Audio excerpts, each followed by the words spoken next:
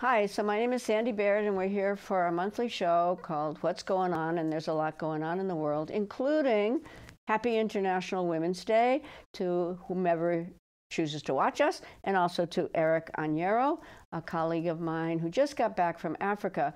So we'll be talking about what's going on in the other part of the world, the non NATO part of the world, and see what's going on in that part of the world during this um, disastrous war in Ukraine. Um, anyway, happy International Women's Day. Before we begin, I want to mention something about that holiday. That holiday was a holiday that was first celebrated and created in the former Soviet Union in 1917. The Soviet Union, of course, is Russia. That was the result, the Soviet Union, of the Bolshevik Revolution, which occurred there in 1917 as Russia emerged defeated essentially in World War I. At that time in 1917, then the Russians gave up and they gave up huge amounts of territory to the Germans and they essentially surrendered after in 1917 the war ended in 1918. And at that time, the women of the Soviet Union got together to celebrate peace to celebrate women all throughout the world, women and girls, but also to celebrate peace. We all should remember this in Russia in 1917 and see whether or not we can consider peace between Russia again and the NATO countries right now. So, Eric, you were recently in Africa. So, what's going on there? What did you find there? I was astonished, actually, I should say, by what we found there. And by the way, I just want to point out for our audience that this little country right here, at least compared to the rest of the world. That's what Ukraine is. Surround, well, this is the Russian Federation, Ukraine, and this is what where you were in Africa, right? In yeah, Ivory in Coast. Ivory Coast yeah. Okay. And then I was also in Ghana. But before I go there, Yeah. I would like to piggyback on what you said about the women and think about all the women in Africa that are still uh, fighting to get more rights and uh, that need, you know, uh, uh, the the help from the women in the West. They need who- the help from all people all in the world. people. For, and Men even like you, which Yeah, I'm sure yeah. you do support those women, right? yeah, Yeah. Yes, of course. And then back to the situation of uh, the war in Ukraine and then how it's being viewed from Africa. I was also surprised to see that most of the people on the streets of Africa, but even uh, within the political realm, are, you know, have some sympathy for, uh, for Putin And Russia. and Russia. I was uh, surprised, so I tried to understand what was going on, and I realized when I asked people that they're not uh, condoning what is going on in Ukraine uh, as far as the war or the invasion, you know, uh, you name it, but it's more like they are, uh, they have sympathy for someone that stands against the West. By what, what, what do you mean by the West also? The West, I mean by, you know, all the former European colonial powers. Okay, that's key though, isn't it? Yes. Okay. Go ahead. For example, France in Ivory Coast. You know, And that's where you were, uh, Ivory yeah, Coast. in Ivory Coast first. Ivory Coast has been independent from France since the 1960s, but it wasn't a real independence. Up to now, France has its knees on the throat of more than 15 countries over there. The new generation is not, no longer the generation of my father, of my grandfather, who were colonial beings. What do you mean? Colonial beings meaning that they were sub- subjects of the um, French Empire. They Now- were, yeah. They were. You know, my mother went to school, you know, uh, uh, singing the, the French national- Marseillaise. yeah, Marseillaise. Uh, uh, learning about more of the geography and the history of France rather than that of her country. I grew up, you know, learning more about my country. I went to school with, you know, friends in Europe that today maybe are, you know, leading their own countries. But my generation doesn't want to be seen as a colonial being anymore. They want at least to be respected. And the respect As as Af- Africans. Africans, but are also as citizens of the world, human being. That's it. So uh, the West, unfortunately, the European powers, and they ally. Well, the, Western US, European powers. The Western European powers. right, correct. And they ally, like from, you know, Canada. Canada and the US, unfortunately have kept that, you know, a status quo of, you know, uh, uh, you know, a colonial relationship of uh, Western, West supremacy. Like, meaning, like, uh, for the past 20 years, nothing has been done to change that you have a new generation that wants change, that doesn't want to be a, a, a, a citizen of countries where the West just come to get resources, mm-hmm. but just want to uh, to do their business, you know. Uh, I, and and I think that the West hasn't changed the way they do business with Africa. Now, Africa has also historical right relationship with the, the Russians, for example. Wait a minute, wait a minute. Let's go back to something. So, it, I, uh, when I studied European history, it turned out, to my surprise, mm-hmm. that between like 1878 mm-hmm. and 1917, the capitalist powers, mm-hmm. France, England, then Germany, mm-hmm. um, and Italy mm-hmm. too, and the United States basically conquered Africa yes. and split it up between them. Mm-hmm. And there was a big conference, the Congress of Berlin, Berlin in, 18, yeah. in, 1878, where this section was considered French and this section was considered British. British.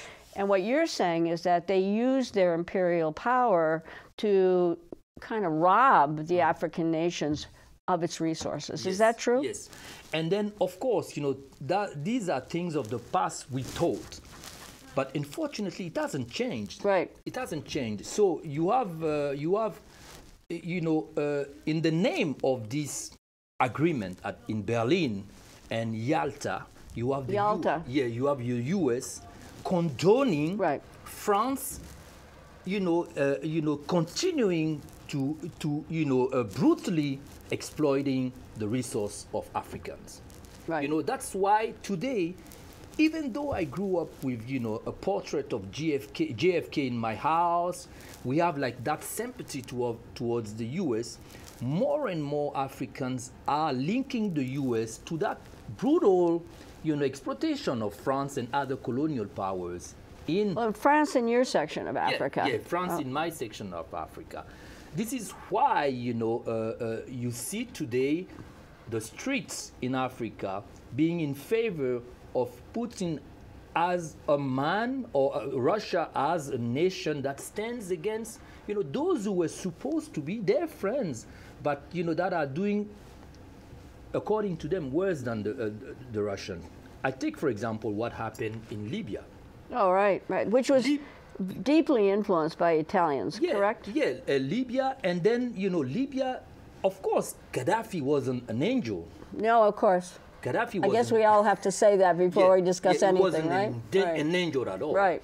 But Gaddafi and Libya, by the way, is up here. Here, yeah. Yeah. But Gaddafi was kind of, you know, uh, you know, uh, maintaining some kind of peace over there, and then, uh, you know, uh, the resources were pretty much, you know, shared. Like I'm not saying equally, but could we put it this way: that Libya, that Gaddafi was looking out for the interests of Libya. Yes. Okay. Now, whether or not he was corrupt and all that stuff is yeah. a different question. Yes. And then he was like a Libyan matter. Exactly. But the European yeah. convinced Obama to go bomb. I mean, bombard. You know, uh, Libya. Right. Libya is a total mess today.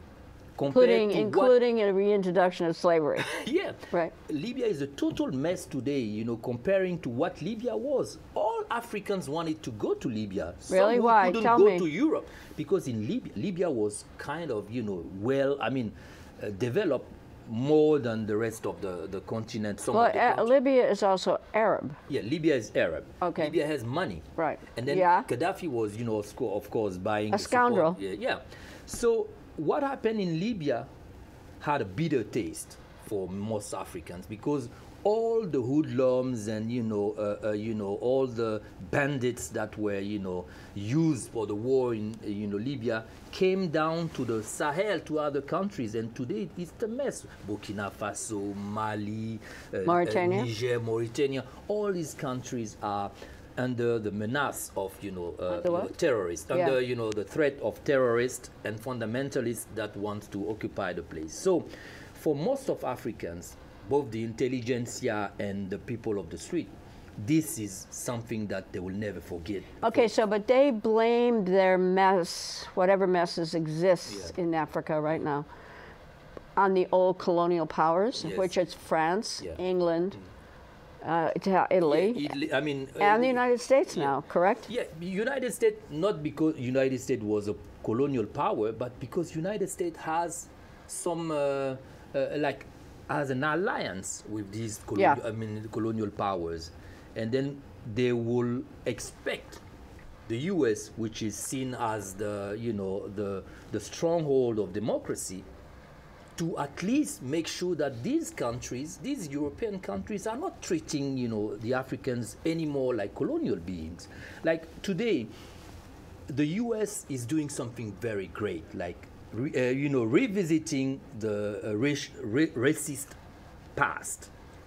Today, we're hearing about Black Lives Matter. But how can Black Lives matter only in the US and not matter in Africa? Right. This make me question the sincerity of this assertion that black lives matter because the black lives in Africa also want democracy. They also want to have hospitals. They also want to have education.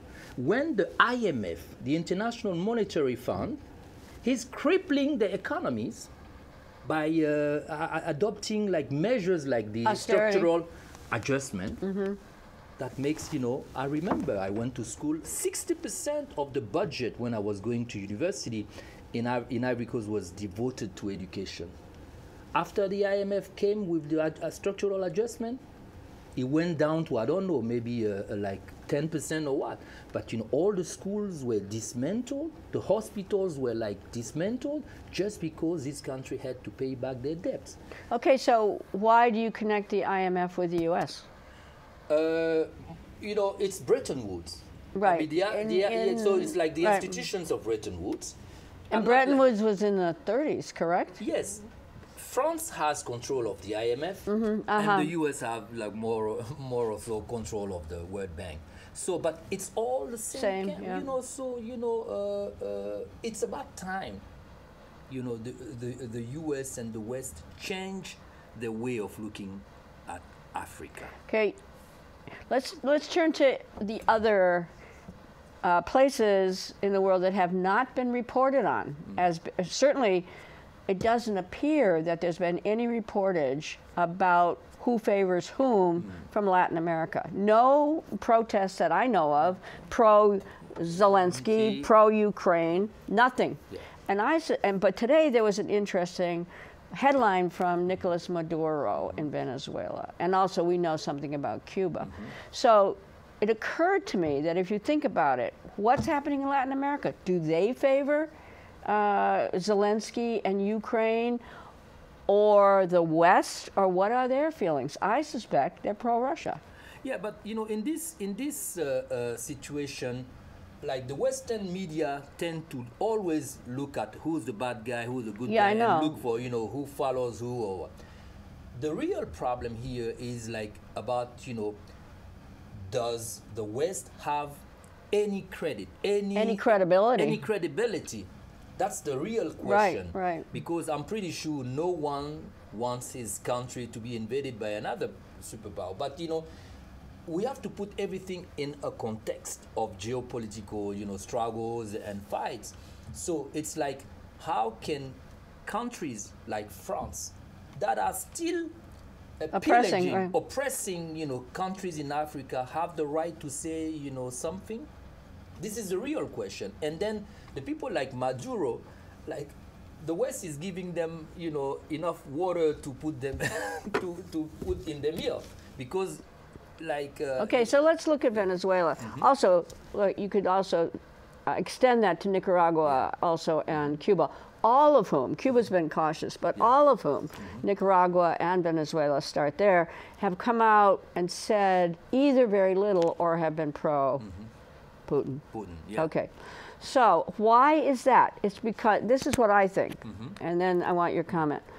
The United States has its sphere of influence. Yes. And it's had that since the Monroe Doctrine in 1823, which said that this republic Yeah. of the United mm-hmm. States of America controlled all of the rest of the Americas and that it would not allow any mm-hmm. other foreign powers ever to mess up that control. Okay? Mm-hmm. This is our United States. I don't want to say our because Yeah. I don't know what this government is all about. It's my country, though, and I love this country. Okay, so this republic, then now, that's its backyard. Yeah. Okay. What is the backyard, for instance, of this of Russia? It's this area of Eastern Europe, and also I uh, Asia, much of Asia. So when Putin perceived, I would guess, just like in the United States, when President Kennedy perceived a weapons threat in Cuba that were put there by the Russians, when NATO began to extend its power this way, I think Putin said, no, we're not going to allow that. Does that justify his invasion? No, but I want you to think about that. Mm-hmm. What would the United States have done in a similar circumstance? What did they do when the Russians put missiles in Cuba? That's that's a big question. That's why you know all these countries are questioning you know all this fuss ar- ar- around you know Ukraine. I mean, it's the same agreements that allow former colonial uh, colonial powers from Europe to have their backyard. They extend even the backyard on another continent. Like France has like a large sphere of influence here. Where- in Africa. So That's its that backyard? agreement. Yeah, Yeah, yeah. That's, that, that's the agreement. Why does it? You know, uh, is it uh, per- pertaining not only for uh, the Americas and not for Russia? So I guess Russia also, you know, is trying to defend the turf. Mm-hmm. So uh, uh, and and then they don't see NATO as a good idea in the neighborhood. Well, if you uh, let's go back a little bit to what Russia really is and what it isn't. All right, Russia is this huge federation at this point that extends all the way to Asia. Since the 19th century, mm-hmm. if you think about it, Russia has been invaded by the West, beginning with Napoleon, mm-hmm. correct, in about 1812 that in those invasions temporarily were went into abeyance on the first and the second world war. I don't know how many americans know that russia was our ally in both wars. So it was the us france britain and russia mm-hmm. which fought against the germans correct Yeah. in world war one and in world war two mm-hmm. but in both of those wars the russians paid the highest price Yes. okay, mm-hmm. especially in Europe against the Germans. Mm-hmm. The Russians had the most casualties, and they were perceived as at least a very important victor in defeating the Nazis, okay? Yeah. So, with that history, 1945 comes, Second World War over. Mm-hmm. When there should have been peace between the US and Russia, mm-hmm. immediately begins the Cold War Cold War, against Russia, right? Yeah. And from 1945 until present, the NATO alliance has been an alliance directed against Russia. Mm-hmm. And the Russians have said repeatedly, not in our backyard, right? But you know, we, we should also uh, you know um, uh, look at the fact that you know also Russia tried to also have their own sphere Sure, of influence. sure. You know, a lot of Always, always, A always. lot of countries across the you know mostly the, the countries that were We're in Eastern Europe. You know of you know Yeah. Eastern Europe, in Africa, a lot of countries, even South Africa, for example, doesn't want to take like a very you know a, a, a strong position like with regard to the invasion of um of um, Ukraine. Ukraine because Russia helped South Africa fight the oppressive regime in you know, white? you know yeah like in uh, the apartheid regime. They did. Yeah, Russia helped. So did Cuba. Yeah, so did Cuba. Right. Uh, Mali, for example, that is kicking out France from you know, their country. Has Now? Been, yeah, now has been like a good, uh, you know, a, a- a historical partner of, uh, of Russia? Russia. So, you know, it's, it was fair. A camp wanted to push for liberalism. Another one was like for socialism. But today, the world has changed. It's like other other powers and mid-sized power are emerging. It's a fair competition now. Between I mean, the, the, whole world, like you have, like you have Turkey that is Yeah. doing business in Africa. China is there, and Russia. Russia is there. Russia is today in Africa. I know. China, too. Yeah, China, very much. But what does it mean for the US? The US risked to lose their sympathy, I mean, lose Africa, I know. if they continue to follow the European powers that are looking at Africa just as a place of subhumans who are not, you know, uh, uh, Capable. Of doing, you know, anything. But what? Do, how do the Russians or the Chinese look at Africans? You know, uh, someone was telling me, do you think that, you know, uh, the, the, the Russians are less white supremacists that I said, you know what? They don't bring that when they come to do business. Mm-hmm. Rather than the US or the, the European that have been only given condoms to Africa for the past 20 years mm. under you, the assumption that the whole continent will die from AIDS, rather than looking for ways to create, I mean, a, a, a dynamic you know, market over there where Africans can do business. Nothing is comparable to what the US have achieved in 200 years. Nothing. Legacy of culture, economy, anything. You keep you going to Africa today and then you talk about the US, you will have the same sympathy, you know, about the US. Uh, I mean, no matter what politically, you know, the governments are doing. So, uh, uh, uh, uh, even if China today was to uh, to to to surpass or even to get closer to what the US is, it would have just been because the US has been the pioneer and then China has been able to copy or to look at it. So, you know, uh, if the US doesn't change that perspective of looking at African countries only as like, you know, second class citizens And that we- exploitable. yeah, and then we can help, just help. AIDS, it's time for business. We want in Ivory Coast, people in Ivory Coast want to buy cheese from the Vermont that is even getting sometimes better than cheese from France. You know? Mm. Yeah. They want to uh, like do business with the. They would you know, rather do business with the U.S. than Yeah. France. I mean, they want to be able to do business with any country, Mm-hmm. you know, with respect to, you know, human rights, you know, like, we're not, they don't want to be forced to do business with a country like France.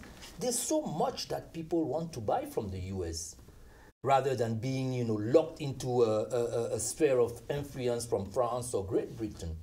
It's a new world the new generation wants to do business with China, with uh, Russia. Russia, with the US, and they don't want to be forced to do that. This is the new world. Any power, any country, any superpower or empire that doesn't understand that will have China and Russia, you know, uh, take the, the you know, uh, get the, the, the cake.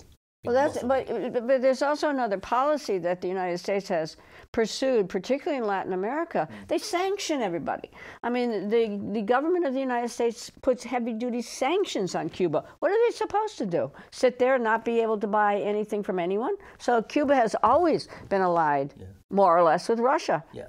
And that is that is what's happening today is that Cuba feels more sympathy for Putin than it does for Zelensky or Or f- or for- for the West. yeah. What we call the West. I know that you know the world is not. I mean, the world is not a, a kin. I mean, a, a playground and a kindergarten. That you know, it's Right. about you know the world is tough. You know, you know, you never know what you know the Russians you know hide, uh, conceal. You know, when they deal with the U.S. Of you course. know. But you know, uh, today nobody can win a war with nukes or whatever. Oh Even yeah, they, they can blister the whole world. you know, it won't go anywhere. But even if China start today, they know that you know it's the end of the world. I mean, it's like so nobody will do that. There will be small conflicts here and there, but it's, This is not a small yeah, conflict. it's time for the world to look at how we're going to do business today. Anything that happened in the U.S., a guy in the bush in Africa knows about it. Really? Back in the days, How come how come Americans don't know about all this stuff? because you know we have a condescending attitude towards the rest of the world mm-hmm. you know if if you are humble enough even if you are the mightiest if you are humble enough you will learn about you know, what's going yes. on. And then today, the the uh, the you know uh, The press is horrible. yeah, and it's I mean today like with your cell phone you know what is going on in, in America like as as soon as it happens. So we have to be in a world of cooperation because nobody can win any war, you know, because like uh, Shouldn't this be obvious to the U.S. after Iraq? It takes time. It takes time for a mighty, I mean, a mighty power like the U.S. to change. It's like a, a huge change. It will take time. It will take like Americans themselves, and it will take the right. people that are Right. call, calling themselves progressive I know. to do that because they are also. I'm very, I'm very uh, uh, surprised that you know you'll find among those who are progressive uh, some people that you know are camping on uh, on their grounds like you know the rest of you know if you're not among them you're the devil.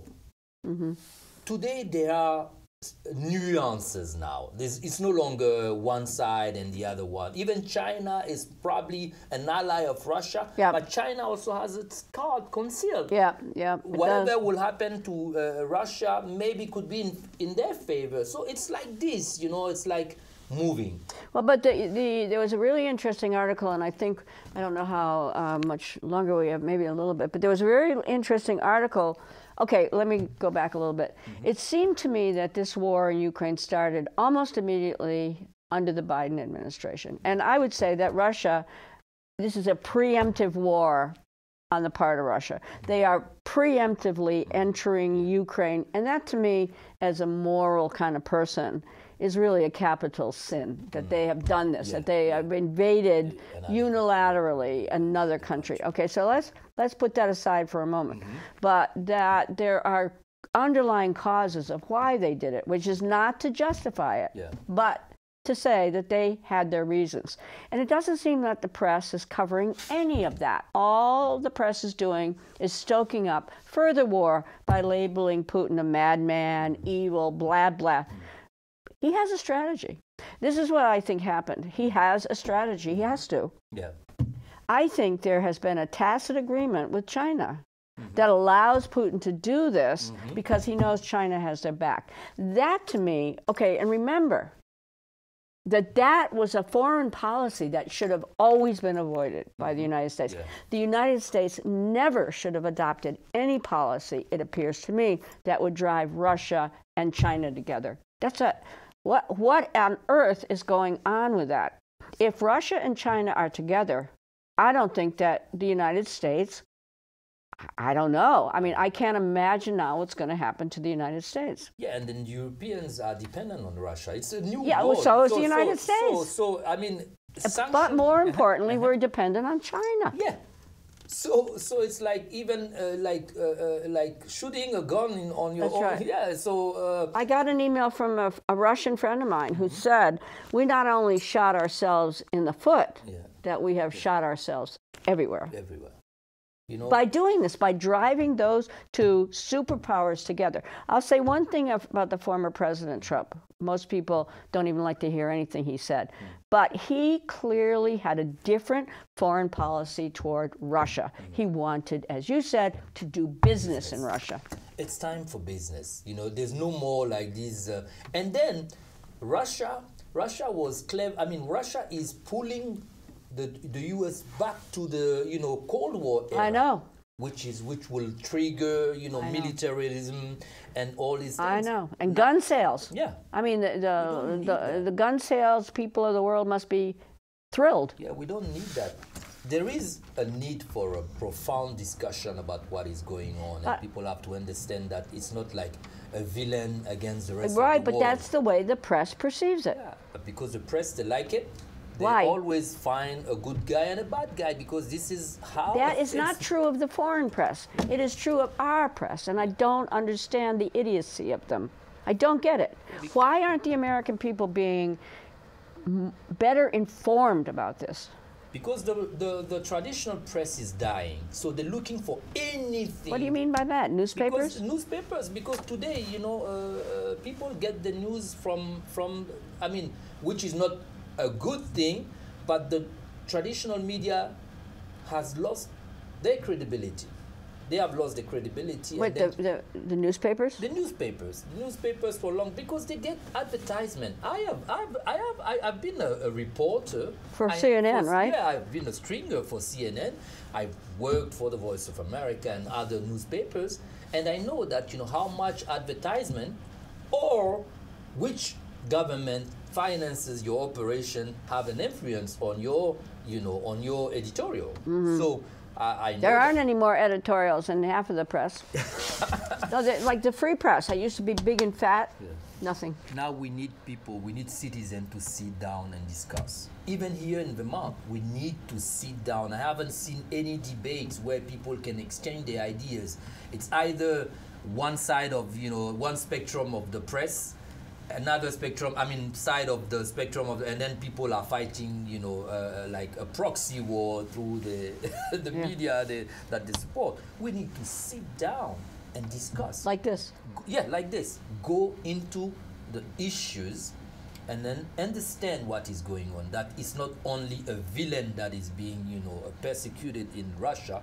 It's it's uh, the consequence of action that have been taken by NATO decades decades ago. It's like, and, and then there's a huge risk. Right now, Africa is paying already for that war. Which prices? War? Prices are, you know. Here, uh, they're, yeah, they're, yeah. yeah. You know, wheat is, I mean, prices up.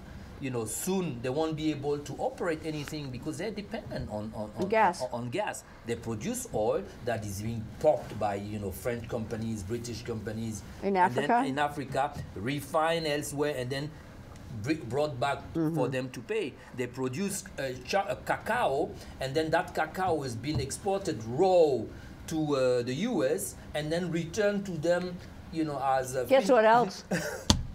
Heroin. He- you see? Morphine. Morphine. Everything, even medicine. Mm-hmm. So, uh, me, um, I like I have liked the U.S. since I was a kid. That's why I like I, I came. And you came here, right? Yeah. That's why I want the US to do to, better. To do better. We can do better. In Africa, it won't be uh, militarism that will make us win the war over there.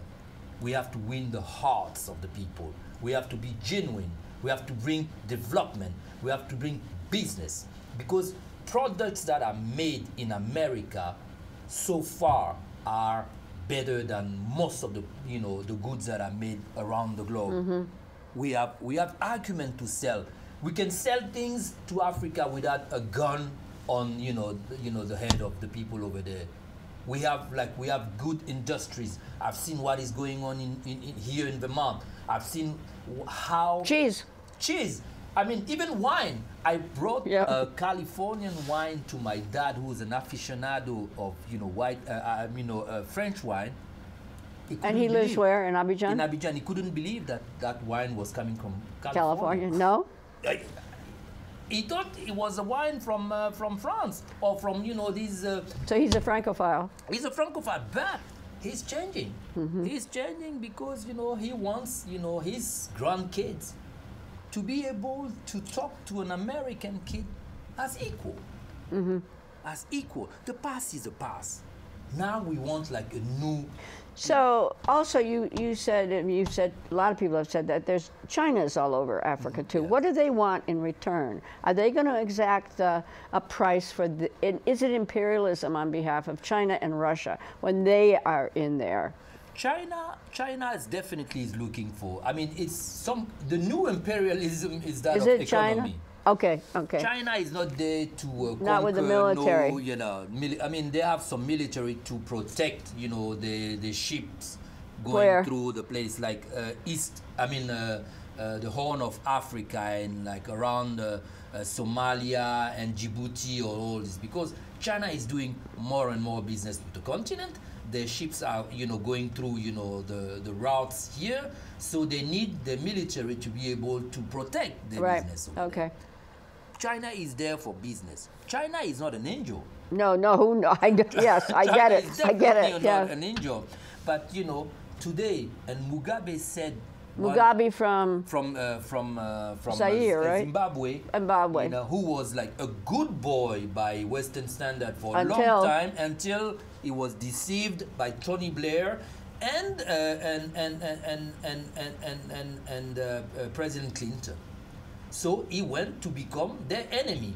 But Mugabe said one day, the European raped us. Now we have the choice to go to bed with China without being raped. It's a big difference. So we're choosing who is our partner. You know, so uh, that's if really powerful. if the Europeans and the Americans, the Canadian, come no longer as you know, uh, you know, yeah, they will do better than China. But they're not any- doing that right now. They're not doing that. Is there anything that is comparable to, uh, you know, the legacy of Elvis Presley, Hollywood? You know, uh, the- Nothing. The, fight Absolutely for the not. We know that, rights, right. The fight for the women rights. The fight for for you know workers until you know uh, uh, Labor Day became a day for shopping. Yeah. It was a day of you know uh, uh, uh, you know the fight Workers. of the workers, and then it came from here. So we have to we have Go to back be- to that. Yeah, to go, go back to that. I think we should stop right now, but the conversation is not going to be over, I would guess. So, last thing, what are you predicting? What's going to happen in this war? Well, today the world is like, it's like, What? it's unpredictable. Anything can happen. I mean, but you know, I'm pretty sure you know, uh, Ukraine will be uh, destroyed. I know, which is serve terrible. The interest of you know superpowers. So, this is what I said to my sister who lives in Canada. This is a proxy war between Russia and the U.S. Yeah. People don't want to hear that, though. They want to hear about it's only about Ukraine. Ukraine is the battlefield. Yeah. And the Ukraine- Ukraine, I hate to say it, but it's going to be destroyed. In Africa, we say when two elephants are fighting, Yeah. it's the uh, the grass on the ground that suffers, and Ukraine is that grass. It's a horrible thing, a horrible realization. Yeah. But thank you. Maybe Oh, we'll be back pleasure. in a month, right? Yeah. Thanks a lot. And all my sympathy to the people of Ukraine. Me too. Yeah. And to the people, really, Yeah. everywhere right now. Everywhere right now. Mm. Right. Okay, thank you, Eric, and we'll see you soon.